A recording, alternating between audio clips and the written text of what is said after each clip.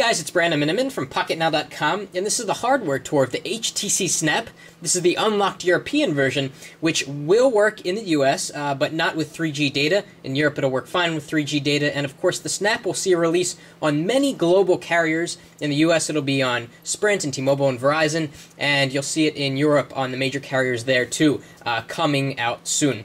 So let's take a tour of the device. The device is characterized by this kind of circle theme. This is because of the inner circle feature. So these buttons here are circular. You have a circular trackball here that we'll talk about later. And the buttons are kind of rounded on the edges. They're not exactly circular. They kind of have a, a squarish rectangular shape to them. Um, and, and of course, we'll, we'll talk more about the keyboard in a minute. But it's a nice looking device. It's covered in a rubber coating, just like the original T-Mobile Dash. So it feels very solid in hand. It doesn't feel like you're going to drop it. It's not as sheen as, say, um, an HTC Touch Pro 2 or a Diamond 2, where there is just shiny materials galore. Um, but that's a good thing because you're not going to get fingerprints on the um, HTC Snap. The, the screen is not touch, so you're not touching the screen, and uh, you know you spend most of your time on the hardware buttons, which is a matte finish, and you're not going to pick up fingerprints there. So let's zoom in a little bit.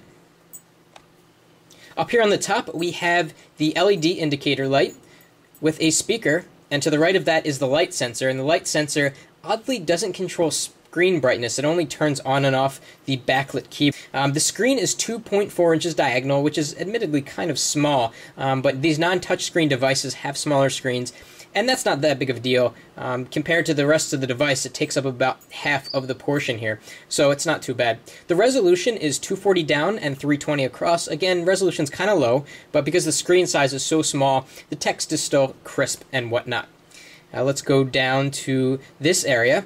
We have this nice brushed metal aluminum piece here that surrounds the hardware buttons. Here's call start, soft key, home, and then the D-pad, which is actually a trackball. It's very interesting. You can adjust the sensitivity. It's a nice sensation because, as with other Windows Mobile standard devices, you have to move your thumb in this kind of fashion to move around on the screen.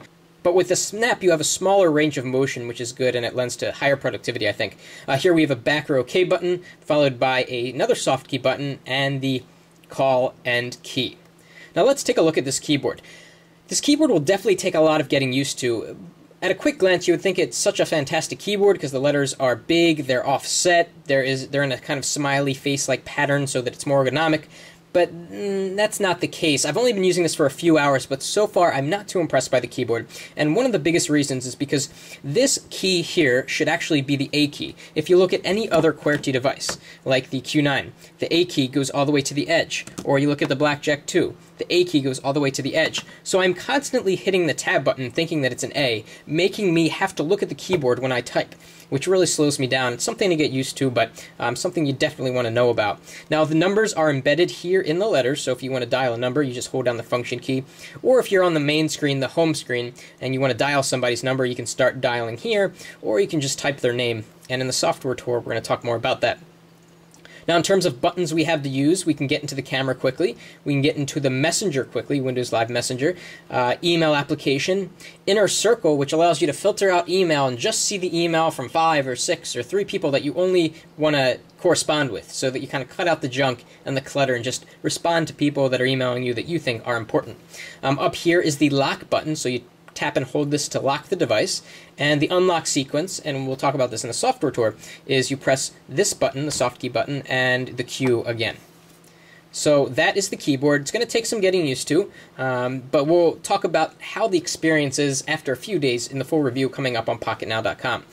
Here on the bottom we have the microphone, Let's go over to the side, and while we're on the side, let's talk a little bit about how thick this is. This is a very, very thin device. It's only 12 millimeters thick, and as a comparison, the Q9 is about 0.2 millimeters thinner, but you really can't tell. Um, it's it's much much thinner than the Blackjack 2.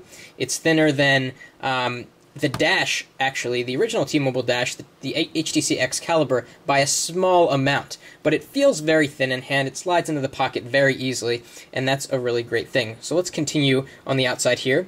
Here we have a volume rocker. Then we have a lanyard hook there. This helps you get the back battery cover off, and we'll take that off in a sec. Over on the other side, we have nothing except there's a little bit of a there's a little cover here which will reveal the charging port, which is used for syncing, charging, and audio. Of course, this doesn't have a 3.5 millimeter headphone jack, so you're going to want to get a converter jack, or you can use the headphones that come with the the snap, which includes that plug. And let's look on the back. On the back, we have the, the external speaker that's used for the speakerphone or if you're listening to music. And then we have a nice brushed metal piece, actually the same sort of design as you'll find over here, um, surrounding the 2 megapixel camera. And there's no flash on the camera, unfortunately. And as I mentioned, the entire back is that rubbery coating that was made famous by the Excalibur, the T-Mobile Dash. It really feels solid in hand. So to take off the battery cover, you kind of got to stick your fingernail in there and take take it off like this. Now down here you will find the uh, micro SD slot. Unfortunately, it's under the battery cover. This is a trend for all HTC devices. They're doing under the battery cover for the uh, micro SD card.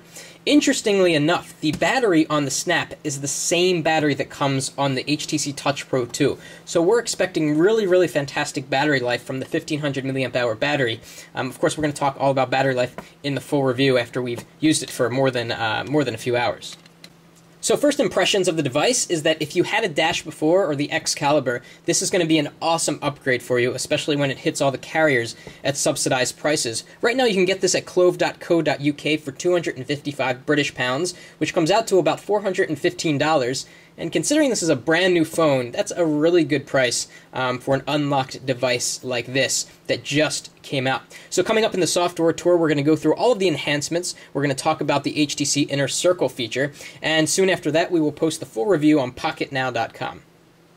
I'll put a link up on the video for the unboxing in case you missed that on the HTC Snap. That's it for now.